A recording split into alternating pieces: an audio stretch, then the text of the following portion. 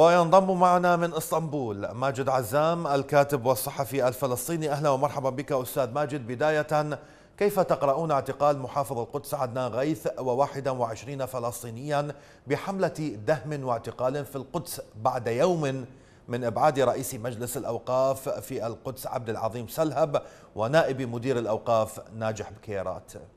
يعني اولا مساء الخير لحضرتك والسادة المشاهدين. الاعتقالات تاتي في سياق الرد الإسرائيلي على نجاح المواطنين الفلسطينيين في فتح باب الرحمة تأدية الصلاة في الجمعة الماضية. يعني يمكن القول إنه الاعتقالات هي في سياق العام جزء من قمع المقدسيين ومنعهم من التصدي للاحتلال الإسرائيلي والسياسات التهويدية والاستيطانية، لكن تحديدا هو رد على ما جرى الجمعة الماضية وفي الأيام الماضية واستراق لما سيجري هذه الجمعة أو الجمعة القادمة إن شاء الله.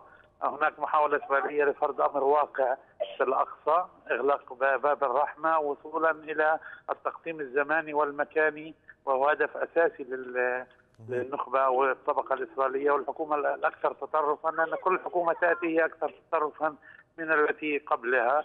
هناك تصدي هناك صمود من قبل الفلسطينيين من قبل المقدسيين على اختلاف انتماءاتهم. هناك صمود كبير وهناك قيادة لهذا الصمود صحيح غير سياسية لكن لا يمكن فصل المقاومة والمواجهة أو الصمود عن السياق السياسي العام لحق الشعب الفلسطيني في مقاومة الاحتلال، هناك محاولة الاعتقال قادت هذا الحراك قادت هذه المواجهة في الأقصى، قادت هذه المقاومة في الأقصى، ثم هناك محاولة لردع آخرين من الانضمام إلى الحراك أو المواجهة أو المقاومة سواء في مستوى القيادة أو في مستوى التصدي الميداني. وكما قلت يعني هناك محاولة أيضا لفرض منع أي مقاومة فلسطينية من التصدي للمواجهة للمحاولات الإسرائيلية لإعادة طيب. غلق باب الرحمة سواء في هذه الساعات أو الجمعه القادمة. قضية مصلى باب الرحمة وفتحه أمام الصلاه أو فتحه للصلاة أمام المقدسيين إلى أي مدى أسهمت هذه القضية في إغضاب الكيان الصهيوني؟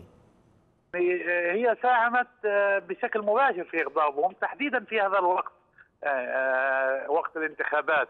يعني هي ساهمت في اغضابهم لأنه هو كسر للأمر الواقع. يعني الفلسطينيين كسروا الأمر الواقع اللي تحاول سلطة الاحتلال فرضه أمر واقع منذ 2003 لأن هناك إعادة افتتاح لباب الرحمة. والأمر الآخر في هذا الوقت هناك تسابق من قبل المتطرفين في الحكومة وفي الساحة السياسية لنيل نيل رضا الجمهور الإسرائيلي الذي ينزاح إلى اليمين دورة بعد دورة، رأينا التضييق على الاسرى في السجون، رأينا ما يجري في الضفة الغربية ورأينا ما يجري في القدس، يعني الرد هو جزء من التطرف المتزايد في الساحة الإسرائيلية قبل قبل الانتخابات، لكن أنا أعتقد أنه ما جرى في الرحمة هو مهم جدا خصوصا بعد كسر أيضا القرار الإسرائيلي العام الماضي في وضع بوابات إلكترونية على الحرم المقدسي الشريف وهو جزء أساسا من الصراع على القدس.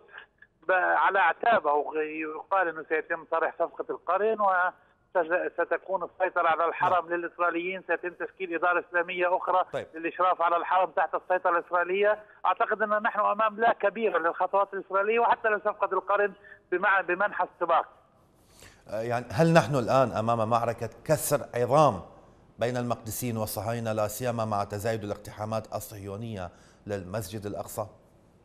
أنا اعتقد رغم كل ما جرى في غزة الصهاينه يعتقدوا ان السقف أو أنه ما ما يجري على الحدود ممكن احتماله حتى في الضفة الغربية رغم العمليات الفردية.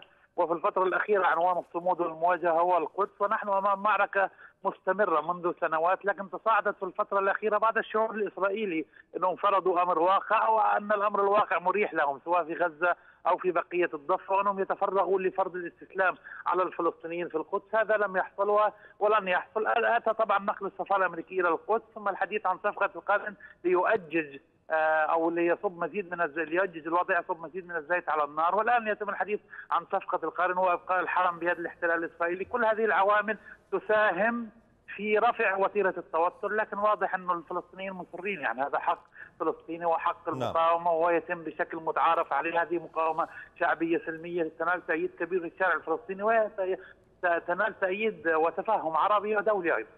الكاتب والصحفي الفلسطيني الأستاذ ماجد عزام كنت معنا من إسطنبول عبر الهاتف شكرا جزيلا لك.